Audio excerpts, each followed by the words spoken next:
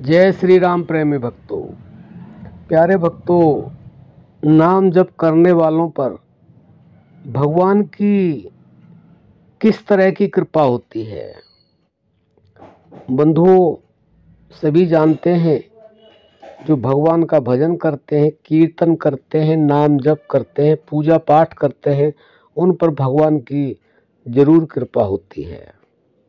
लेकिन जो संपूर्णता के साथ नाम जप करते हैं, प्राण जप करते हैं, और उसमें वह पूरी तरह से तल्लीन हो जाते हैं। यानी कि उनको बिना नाम जप के रहा ही नहीं जाता है। तो भगवान उन पर विशेष कृपा करते हैं। ऐसी कृपा करते हैं कि बहुत सारी बातें तो बताई भी नहीं जा सकती हैं। बंधुओं, जो भगवान का नाम जप निरंतर करते हैं, जैसे मछली बिना पानी के रह नहीं पाती है, ऐसे ही नाम जापक अगर बिना नाम जप के नहीं रह पाता है तो भगवान उस पर ऐसी कृपा करते हैं तो थोड़ा सा हम बता पाएँगे। बाकी तो आपको अपने आप ही अनुभव होने लगता है।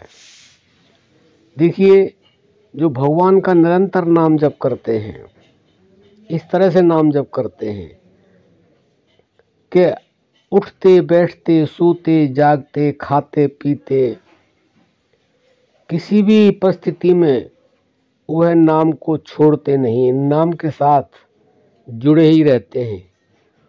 सबसे पहले तो उनके अंदर हर समय मन के अंदर प्रफुल्लता बनी रहती है।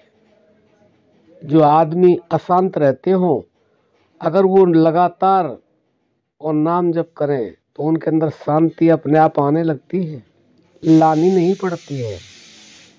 इसके आगे उनके घर में अगर गरीबी होती है तो अमीरी अपने आप आने लगती है। ये भगवान की कृपा होती है, क्योंकि भगवान के साथ जो जुड़ जाते हैं, भगवान उनके वारे न्यारे कर देते हैं। और उससे आगे, अगर किसी घर में ग्रह क्लेश रहता हो और वह नाम जपना शुरू कर दे तो ग्रह क्लेश समाप्त होने शुरू हो जाते हैं। और लगातार नाम जप करते हैं तो घर में क्लेश होता ही नहीं। और इससे आगे जो भगवान के साथ जुड़े रहते हैं, नाम जब लगातार करते हैं। भगवान उन पर इतनी कृपा करते हैं कि उनके कार्य अपने आप ही बनने शुरू हो जाते हैं। उनको बनाने की आवश्यकता नहीं है, क्योंकि जो भगवान के साथ जुड़ जाते हैं, फिर उनका हर कार्य भगवान स्वयं करते हैं। किस रूप में करते हैं, वो बताते नहीं हैं। भगवान छुपाते हैं। कृपा करते, नहीं बताते, बन जाते, अनजान भक्त के बस में है भगवान।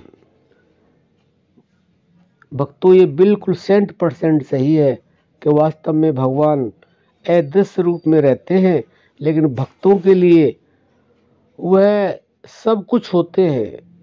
भक्त के बिना वह रह नहीं सकते। हैं भक्त की तो चरण धूली तक लेना चाहते हैं। लेकिन हम समझते नहीं। हमने उस शक्ति को, उस परमात्मा को, उस नाम जब को कुछ समझा ही नहीं है। हम बड़े हल्के में लेते हैं। उसके बगैर न कुछ था, न है, न होगा। और वह हर जगह मौजूद है। कोई जगह खाली नहीं है उसके। लेकिन उसको हर जगह तो तब देखा जा सकता है जब हम अपने अंदर उसको देख लें, उसको जान लें, उसका अनुभव कर लें। तो प्रेमी भक्तों, आप इस तरह से नाम जप करें और लगातार करें तो वास्तव में भगवान अपनी कृपा बरसाते हैं। और इस तरह से हमारे सारे कार्य पूरी कर, पूरी करते हैं, जिसका हमें पता भी नहीं चलता है।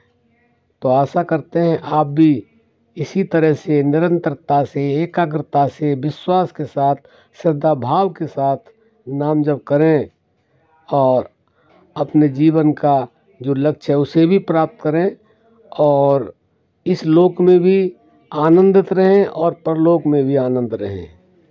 अब हम अपनी वाणी को विराम देते हैं। जय श्री राम।